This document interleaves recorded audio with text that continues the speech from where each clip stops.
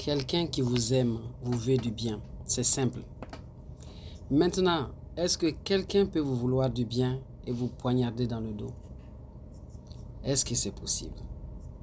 Est-ce que quelqu'un peut vous poignarder dans le dos et vous dire qu'il ou qu'elle vous aime? Vous avez la réponse. C'est lui qui fait le choix parce que dans une relation, tout est une question de choix. De poser des actes qui peuvent vous, briser, c'est que cette personne ne vous veut pas du bien. Et une personne qui ne veut vous perdre pas du bien ne mérite pas de cheminer avec vous. Il y a des moments où vous devez faire preuve d'une certaine sévérité, d'une sévérité envers vous-même. Parce que cette personne que vous êtes ne mérite pas de s'accompagner avec celle qui l'a détruit.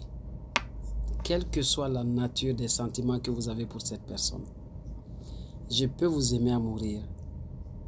Je peux vous aimer sans condition. Mais le jour où je sens ce côté derrière mon dos et que je me retourne et que je reconnais ce visage, quelle que soit la nature des sentiments que j'ai pour cette personne, eh bien, je ne cheminerai plus avec elle et je partirai sans regret. Je partirai sans regret dans la mesure où aimer, eh bien c'est tout simple.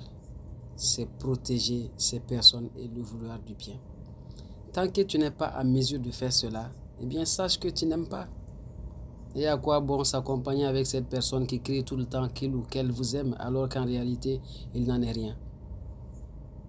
Il y a des actes qui en disent long sur la nature de votre relation. Et c'est à ce moment-là que vous devez faire preuve de sévérité.